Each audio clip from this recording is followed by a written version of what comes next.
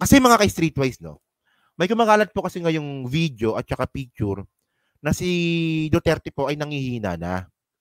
Nangihina na, may picture tsaka may video pa talaga na nangihina na. So, hindi ko lang alam kung totoo ito or drama drama ito ng ng Duterte Camp. Kasi dalawa lang 'tong mga kababayan eh. Kung totoo ito, edi kawawa naman siya. Pero kung hindi ito totoo at drama lang ito, so anong gusto niyo palabasin dito? Nagpapaawa kayo.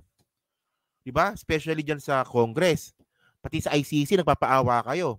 Na kung sakali na hulihin kayo ng ICC, meron kayong meron kayong dahilan na hindi ako, hindi ako pwede hulihin kasi nanghina na ako dito. Ako lang, baka drama na naman to ng directed by GMA. so mga kababayan kasi, bago po kasi natin i-content yan, may lumabas po kasing balita dito. Actually, meron pong blind item yung politiko nung, nung September 5 pa. Okay. September 5 pa to ha. Ito ha, importante yung date dito. Yung date, importante to. Pag-usapan natin muna to. So sabi dito ng politiko, political party suffers major blow, veteran politiko in coma. Yan. Siguro nakita nyo na itong balita na to sa ibang mga vlogger at saka sa ibang mga Facebook post. Okay. So ito September 5 na balita to, no? So sabi dito, a major political party is in a uh, precarious, uh, precarious position ahead of the 2025 election after one of his figureheads reportedly fell into coma. Okay. And Scooper told Politico that that itong political ano nga na to, itong itong tao na to is in the hospital suffering a stroke if said to be in a, ve- a vegetative state with tube attached ba- to his body. Yan. So, ang sinasabi dito, meron pong isang politiko na parte po ng isang political party ang nasa coma.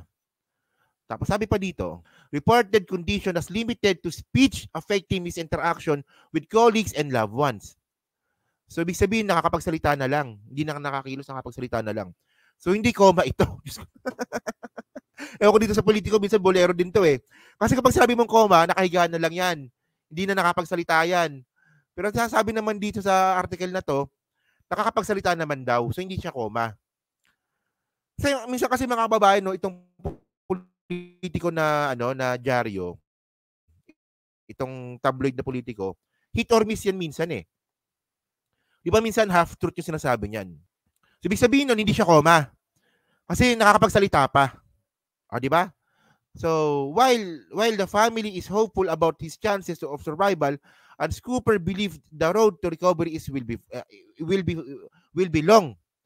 Uh, for one, age has magnified the impact of the stroke of his body. So, ibig sabihin nun, matanda na. Kasi sinabi age eh. Matanda na.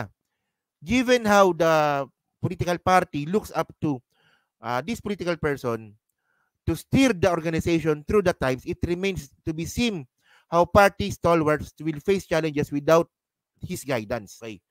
So, ibig sabihin nito mga kababayan, uh, itong sinasabing tao na na-hospital, ay siya talaga yung pinaka, ano, pinaka personalidad dun po sa political party po na yan. Okay. So, syempre tayo, sabihin natin, ay, si Duterte yan, si Digong yan. Gaganon tayo, di ba? Ay, si Duterte yan, si Duterte yan. Ganon-ganon tayo. Malamang, ngayon na sabihin natin.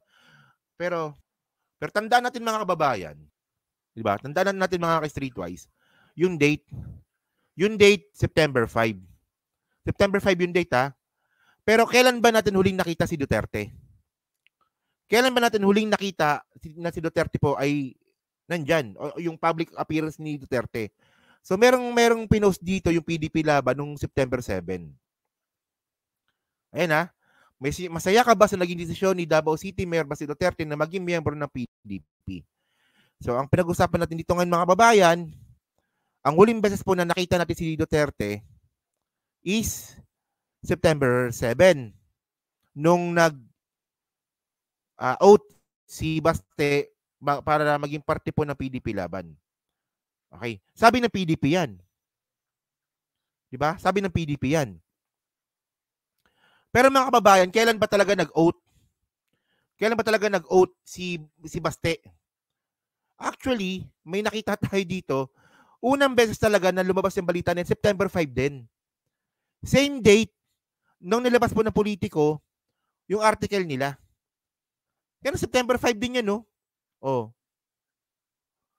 So same date. So ang tanong dito mga kababayan, yung pag oath taking po ni Baste sa PDP Laban, bakit late binalita ng PDP Laban? September 5 pa pala yan. So inabot ng dalawang araw kasi mga ka-streetwise ang point natin dito, isa po itong malaking development po sa PDP laban. Na si Basti Duterte po ililipat po doon sa partido nila. Tapos inabot pa ng dalawang araw bago nyo i-post sa Facebook ninyo na nag-oath taking si Baste. So ngayon mga kababayan, ang ibig sabihin nito, di ba, yan, yan nagets nyo, di ba? Matagal po hindi nilagay ng PDP laban yung uling appearance po ni, ano, ni Duterte. September 5 din po. September 5, kung kailan din po, binalita ito ng politiko. September 5 din po. So, same date lang din.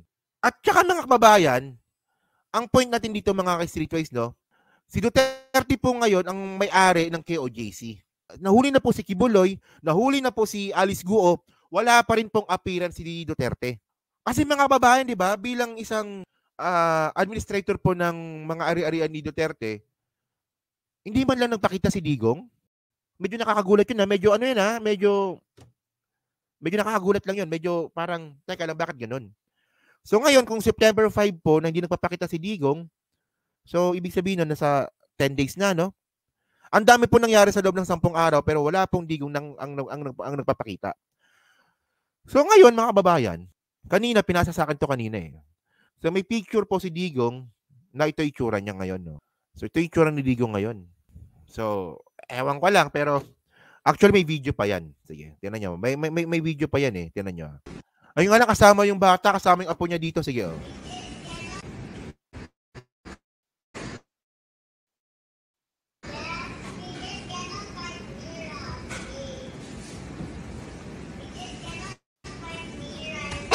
Yung pinakahuling beses na nakita natin si Digong.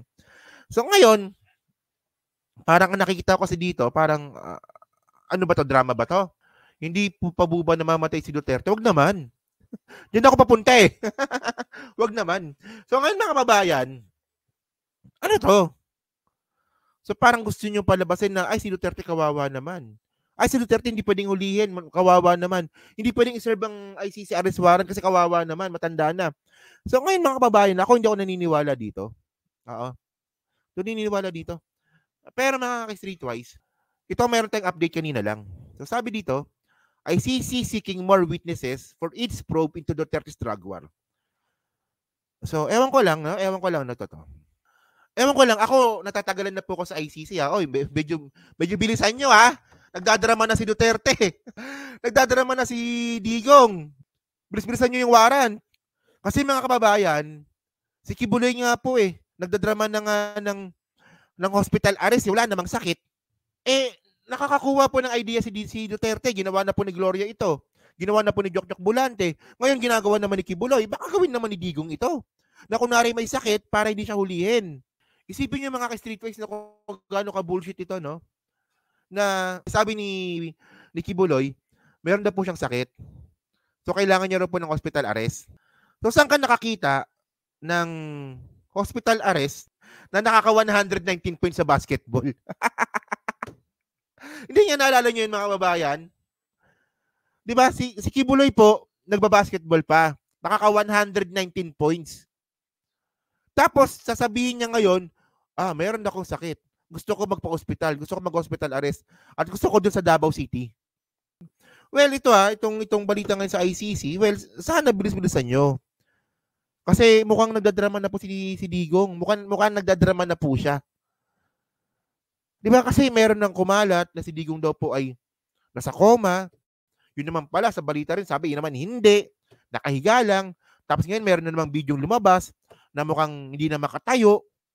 Uy, bilisan ninyo. Kasi ang point dito mga kababayan, hindi po makapag-file ng kaso yung biktima po ng EJK ngayon sa Pilipinas kasi meron pong kaso sa ICC. Ay, ayan talaga pinaka-reason. Totoo yan. Totoo yan. Kasi tandaan po natin na yung ICC mga kababayan, ito po yung ano, court of last resort. So pag sinabi niyo yung court of last resort, ibig sabihin wala ka nang wala, wala ka nang ibang pwedeng puntahan kundi ICC lang. So ngayon kung magfa-file po ng kaso ang mga biktima ng EGK dito sa Pilipinas, hindi na po magiging court of last resort yung ICC. So mababaliwala yung kaso kaya hindi makapag-file ng kaso dito. So mga kababayan, naging court of last resort po ang ICC noong panahon ni Dini Duterte. Kasi isipin nyo lang, di ba? Kung panahon ni, ni Duterte ka magpa-file ng kaso noon, unang-una hindi ka makapag-file ng case kasi nga po, mayroong immunity si Duterte. Pangalawa, presidente po si Digong. Subukan mo mag-file ng kaso, baka patay ka rin. So nangyari dito, naging court of last resort po ang ICC noong panahon ni Duterte. Eh ngayon hindi na ngayon eh. So magkaka-conflict. So conflict na naman po ito kasi nakapag-file na po ng kaso doon. So, well, pakibilisan lang po. Ayun lang po yung panawagan natin, no? So, yun mga babae, so kayo ba, naniniwala ba kayo na itong ginagawa po ni Digong ay drama lang? Di ba, naniniwala ba kayong drama lang itong ginagawa ni Digong? At syempre, kayo ba nanin umaasa pa rin po ba kayo sa ICC? Kasi ang dami na naman lumalabas na balita eh, na ngayong September daw lalabas yung arrest warrant, ngayong taon daw po lalabas yung arrest warrant, at ngayon, ang, ang, ang, pinakabalita naman ngayon, uh, naghanap na naman ng another witness. So, syempre, ako naniniwala naman tayo po no, na talagang takot din po yung mga Duterte sa ICC. So, ito na po yung dramang ginagawa po ni Digong. Di ba? So, yun mga babae, so maraming salamat sa inyo lahat. And then, last topic tayo. No? May isa pa tayong topic dito.